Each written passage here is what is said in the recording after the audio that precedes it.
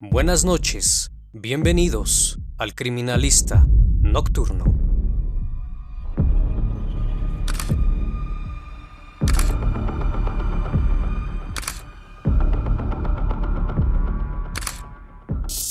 Buenas noches, bienvenidos a una nueva transmisión. Espero que todos se encuentren muy bien desde cualquier parte del mundo donde sintonices este canal. Así que vamos, que la investigación debe comenzar.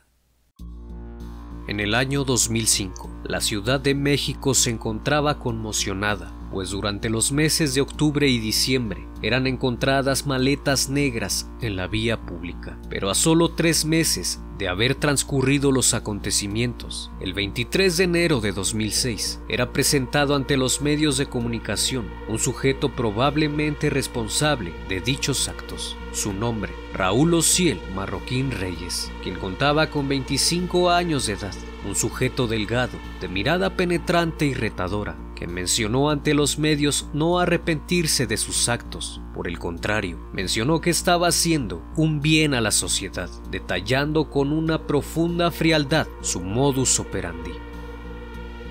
Raúl Ociel Marroquín Reyes nació en Tampico, Tamaulipas, el 1 de septiembre de 1980 hijo de un padre estricto y autoritario, que además lo maltrataba constantemente, que tenía un rasgo en particular, pues profesaba grandes voces su odio y repudio hacia los homosexuales, que más tarde le inculcaría a su hijo este mismo sentimiento. Y así fue creciendo, sabiendo que esas personas eran un mal a la sociedad. Al terminar el bachillerato ingresó al ejército, donde cursó un año la carrera de médico militar, donde se desarrolló como soldado en el Hospital Regional Militar de Tamaulipas, alcanzando el grado de sargento primero de sanidad. Después de cuatro años y siete meses, causó baja del ejército pero cuando salió se le veía distinto, pues había desarrollado con el tiempo una violencia desmedida, acompañada de ataques de ira. Posterior a eso buscó trabajo en diferentes lugares, pero al ser un desertor del ejército, tuvo complicaciones para encontrarlo por lo que al sentirse frustrado de encontrar trabajo, decidió dedicarse al robo con violencia hasta que en el año 2004 fue capturado y estuvo en prisión durante un año, tres meses. Al salir decide irse de Tampico para radicar en la Ciudad de México, encontrando así un departamento en la calle Andrés Molina Enríquez, número 4223, Interior 2, en la colonia Austrias, delegación Venustiano Carranza. Una vez estando en la Ciudad de México, comenzó a frecuentar la zona rosa. Dicho lugar es muy conocido gracias a su vida nocturna, donde se pueden encontrar bares, discotecas, cafés, restaurantes y muchas otras atracciones, además de ser un lugar frecuentado por hombres homosexuales. A menudo dichos hombres lo abordaban invitándolo a salir, hasta que un día se le ocurrió un plan descabellado, pues tras toda esa ira reprimida, tuvo la idea de convertirse en asesino. Pero este sujeto no actuaría solo, pues en complicidad con un amigo llamado Juan Enrique Madrid Manuel,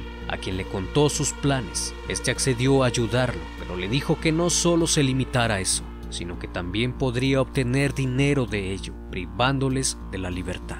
Fue así que la noche 21 de octubre de 2005, ambos se encontraban en un antro y decidieron separarse. Juan Enrique, cómplice de Raúl, conoció a un joven llamado Juan Carlos Alfaro Alba.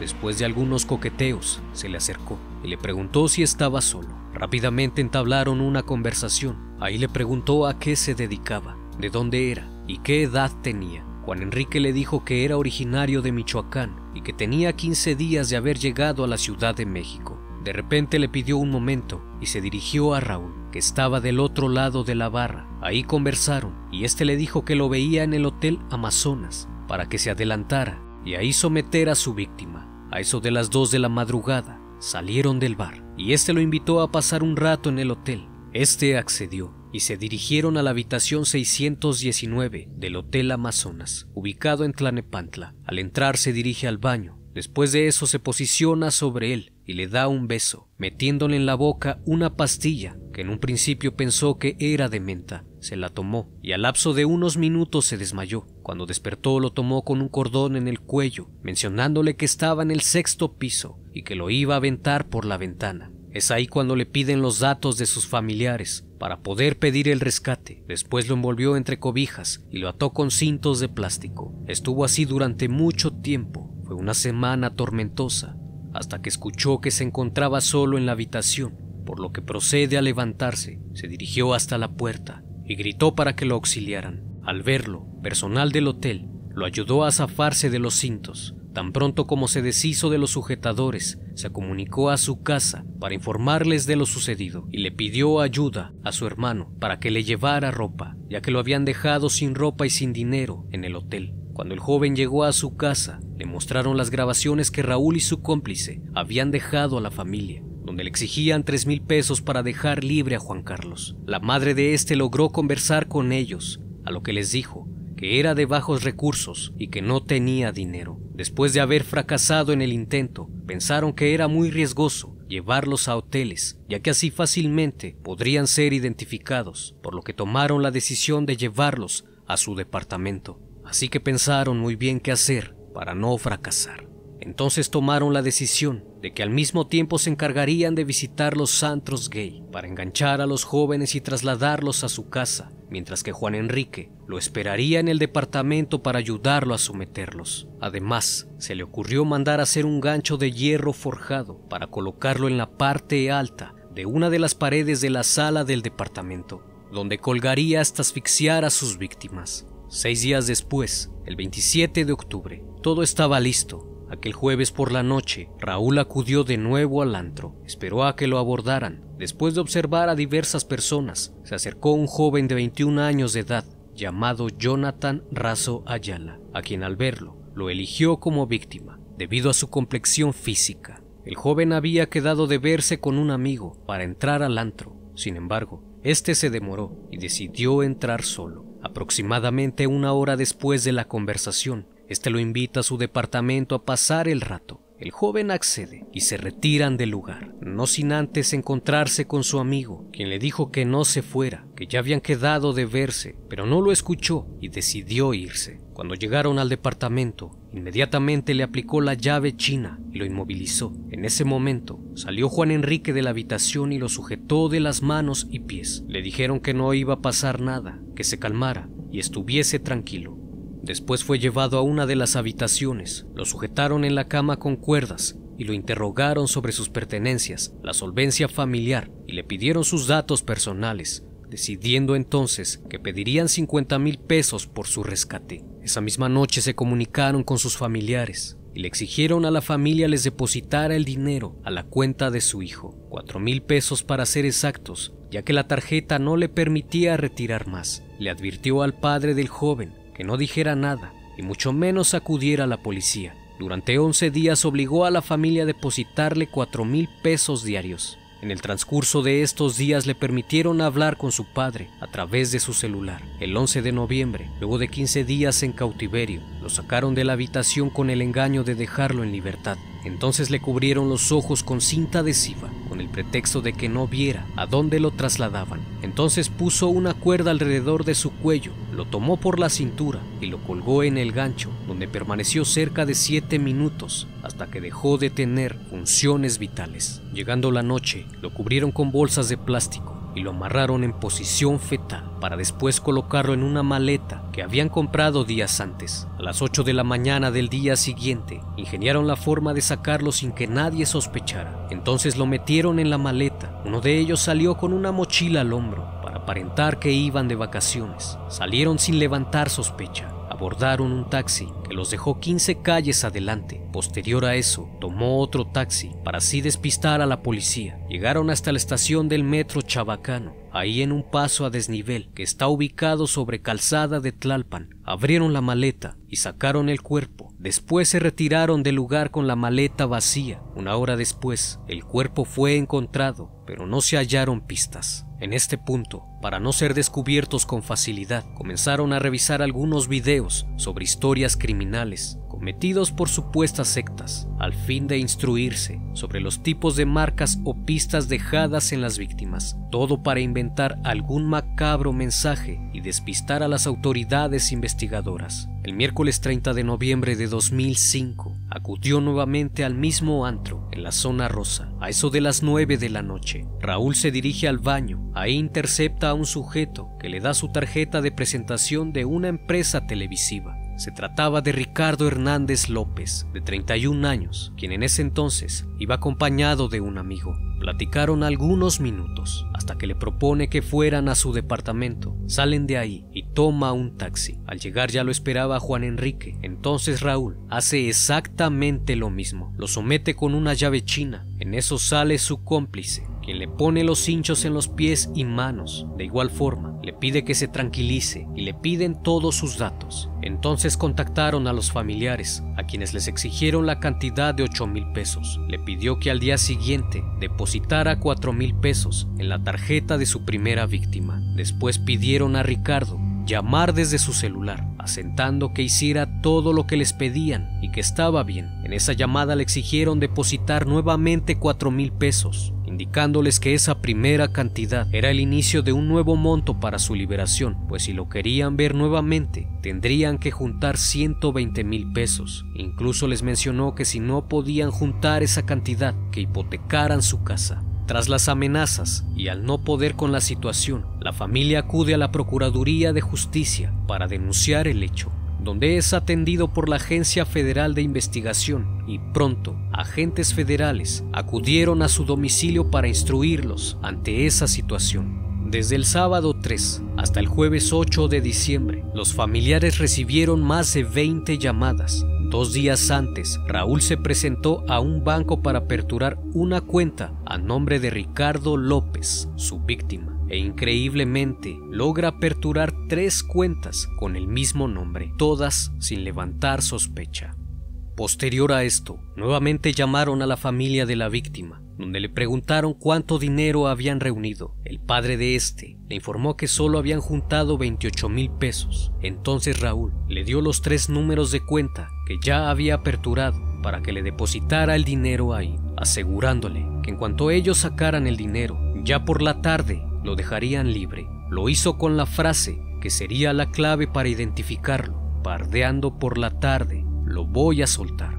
El viernes 9 siguieron las instrucciones para que dejaran en libertad al joven. Una vez depositado el dinero, le notificaron a Raúl sobre el depósito. La familia esperó hasta caer la tarde, como les habían dicho. Sin embargo, los captores ya habían decidido que no lo dejarían libre, por lo que procedieron a hacer exactamente lo mismo que con la anterior víctima, tapándole los ojos con cinta poniéndole sogas en el cuello y lo colgaron hasta que dejó de respirar. Pero esta vez tomó una navaja y le hizo un pentagrama en la frente para que las autoridades pensaran que se trataba de algún rito satánico. Sujetaron la cabeza, pies y manos con hilo sintético, color blanco, hasta compactarlo en posición fetal. Después lo cubrieron con bolsas de plástico negro y lo introdujeron en una maleta de viaje del mismo color y siguieron el mismo modus operandi. Tomaron primero un taxi que los llevó hasta el metro Chabacano. Ahí tomó otro a la avenida Miramontes, donde abandonaron el cuerpo dentro de la maleta.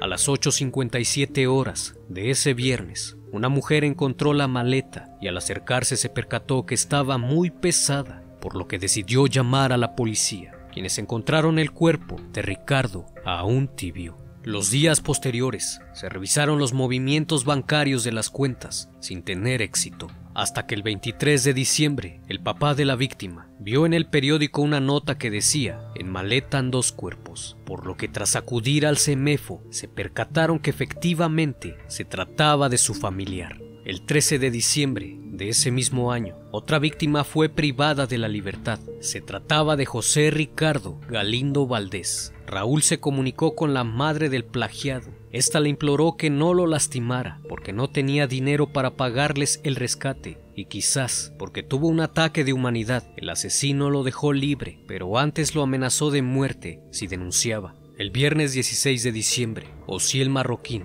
visitó de nuevo el mismo antro a la casa de más víctimas. Había cobrado tal experiencia en la selección de sus víctimas y en la forma de abordarlos que se le ocurrió esta vez enganchar a dos al mismo tiempo. Primero conversó con un joven llamado Armando Rivas Pérez, quien se encontraba con un grupo de amigos. El encuentro fue breve, pero duró lo suficiente como para obtener un número de teléfono y la promesa de irse a comer al otro día para conocerse mejor. Estuvo un rato más y después se acercó Víctor Ángel Iván Gutiérrez, con quien se quedó conversando por más tiempo. Hasta lograr su confianza, Raúl fingió estar interesado sentimentalmente en él. Después de eso, lo invitó a su departamento a pasar la noche, donde ya lo esperaba su cómplice, Juan Enrique. Al entrar al inmueble, ambos lo sometieron, lo tomaron de los brazos y lo ataron de pies y manos y lo amordazaron. Después le pidieron los datos de su familia y les llamaron para pedirles dinero a cambio de dejarlo en libertad. 15 mil pesos fue la cantidad que le solicitaron. Al siguiente día,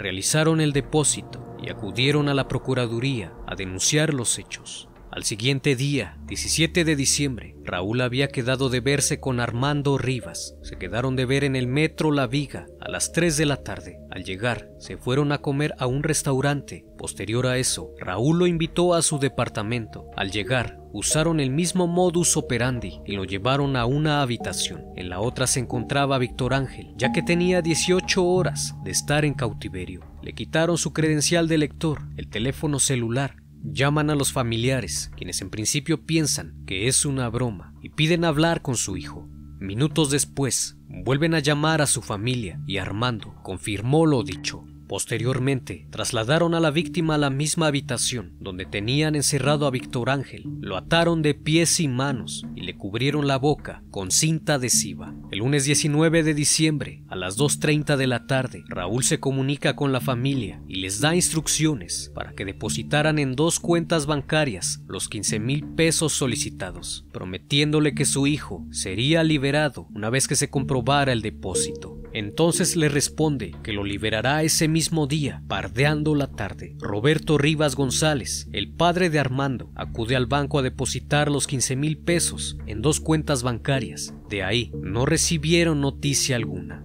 El 20 de diciembre, llaman a los padres de Víctor, prometiéndoles que dejarían en libertad a su hijo si depositaban los otros 15 mil pesos. Al día siguiente, el padre depositó el dinero y no recibió más llamadas por parte de sus captores. El jueves 22 de diciembre ya habían acordado privarlos de la vida, ya que su cómplice, Juan Enrique, iba a pasar Navidad en su natal Tamaulipas. El primero en la lista fue Armando Rivas y después Víctor Ángel. Siguieron el mismo patrón para realizar el acto. Les cubrieron los ojos con cinta adhesiva y les colocaron la misma soga. Posterior a eso los marcaron con una señal satánica y los metieron en las maletas vestidos y sin zapatos, en posición fetal, y sus cabezas fueron torcidas a la altura del cuello para que cupieran en la maleta. Después pensaron en hacer lo mismo. Bajaron las maletas a la calle, pensando igual que las veces anteriores, para abordar dos taxis. Pero como pesaban mucho las maletas, solamente las arrastraron aproximadamente 100 metros de su domicilio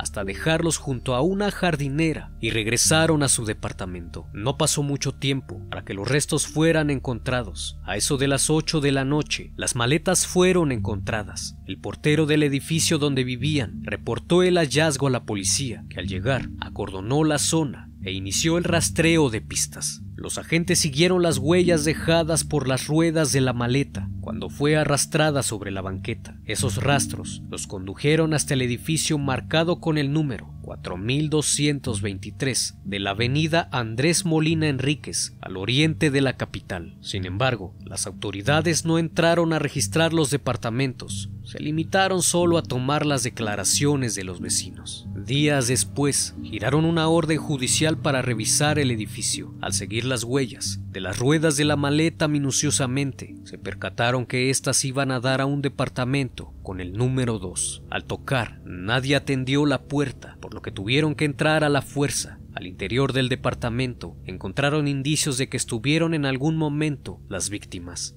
encontraron documentos a nombre de un sujeto llamado Juan Enrique Madrid Manuel, originario de Tampico, Tamaulipas, y otro documento que se trataba de una boleta de libertad del Centro Reclusorio Preventivo de Tampico, Tamaulipas, así como documentos que indicaban que esta persona perteneció al ejército mexicano, al parecer con el grado de sargento. En dicho lugar también se encontró un par de guantes de los utilizados por el área de cárnicos y consumos de alimentos, además de las identificaciones personales de las víctimas, de Ricardo López y Jonathan Razo Ayala. Así como las tarjetas bancarias de las cuentas que Osiel Marroquín había abierto en el banco, haciéndose pasar por Ricardo. También encontraron tres tarjetas de teléfono, una fotografía de Raúl Marroquín con su exnovia, un gafete que identificaba a Juan Enrique como paramédico de Ciudad Victoria, y después encontraron la navaja de afeitar que utilizaba para marcar a sus víctimas, pero había un problema, pues sus captores no se les encontraba por ningún lado.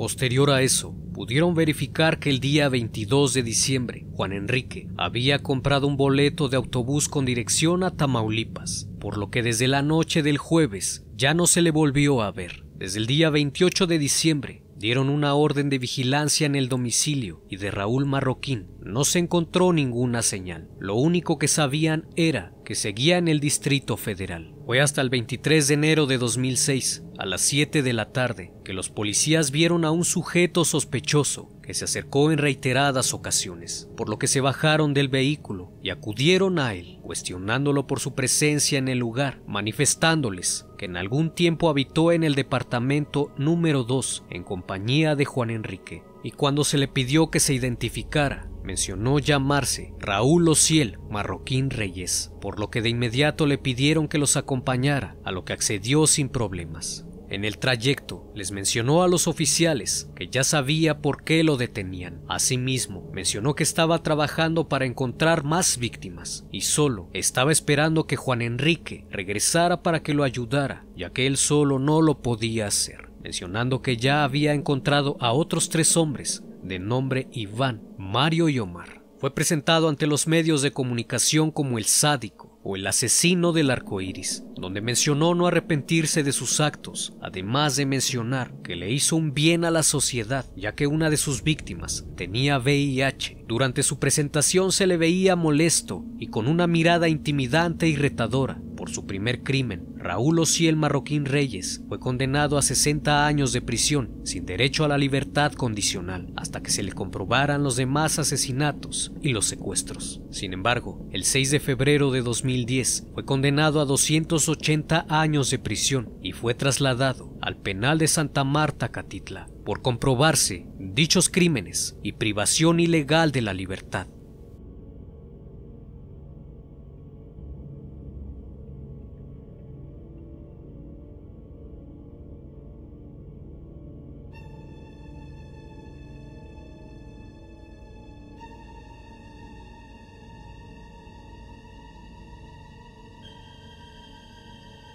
Un caso más que quedará en los registros de archivos policiales para la historia.